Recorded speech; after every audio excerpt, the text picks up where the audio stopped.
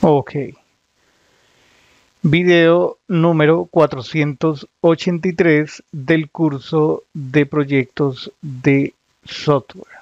Estamos tratando de deshabilitar el botón de, de cambio de estado de un usuario aquí en la en la vista en la vista usuario tenemos este error que ocurrió en el video anterior. Nosotros le pasamos este prompt eh, pasamos ese prompt para tratar de solucionar el problema de renderizado. Eh, nos sugieren reformalizar el código del siguiente modo. Entonces hay que hacer una especie de ciclo si prefieres hacerlo en una sola línea, puedes probar utilizando filtros que sí admite Jinja 2. Ah, ok. Esto sí está permitido. Voy a copiar esta, esta expresión. La voy a sustituir aquí. Em, vayamos al editor, al navegador, control R. Ok. Se desapareció la otra la otra columna. Ya sé por qué es.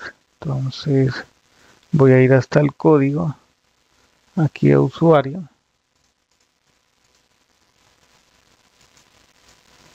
En, las 5, las 7 y aquí quedaría 8. Control R. Ahora sí. Bueno, em, listo. Ya tendríamos acceso. A ver, echémosle un vistazo. Cuando deshabilito este usuario, ahí ya hay problema. Démosle continuar. Queda deshabilitado. Control R. Em, bueno, ahí se detiene deshabilitar ese mm, breakpoint por ahora, pero antes sí me gustaría ver el contenido de data antes de que termine. 6. Viene la cadena sí. La cadena sí, que es propietario. Entonces, em, a ver. Hagamos lo siguiente.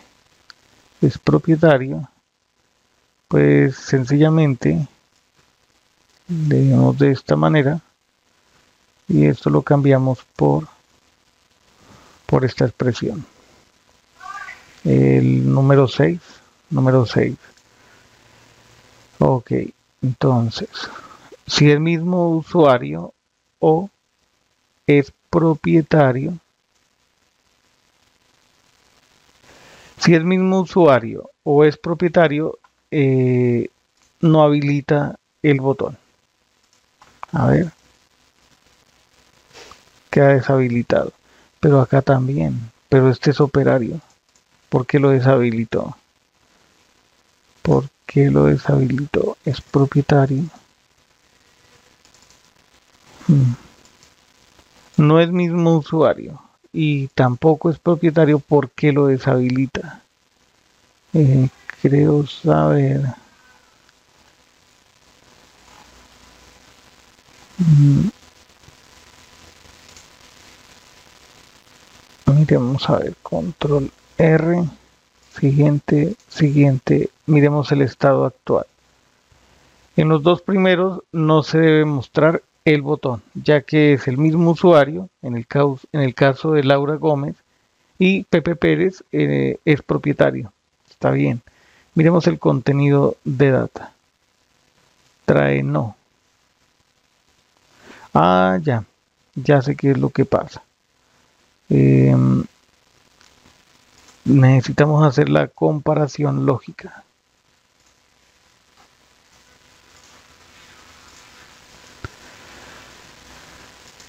A ver, es igual a sí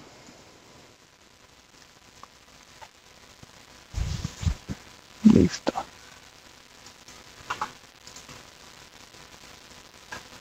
Em, control R es el único usuario que se puede deshabilitar. Este señor. El, usuario con documento 2003. Eh, haré un commit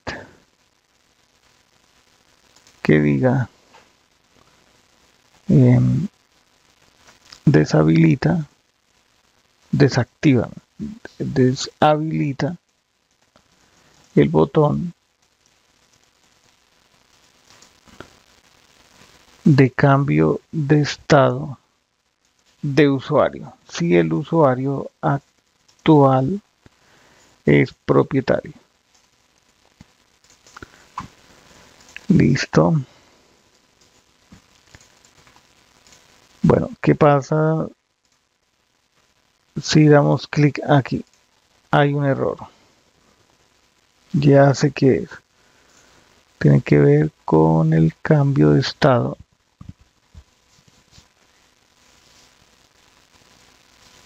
¿Dónde, ¿Dónde ocurre esa operación? Creo que está al final. Esta es la de asignar. Es aquí. Ok. Is active. 0, 5.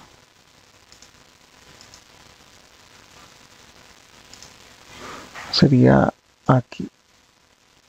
Data en el índice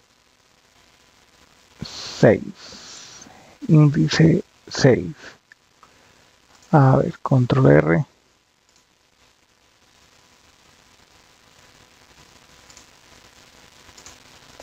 Ya, era solamente cambiar ese punto.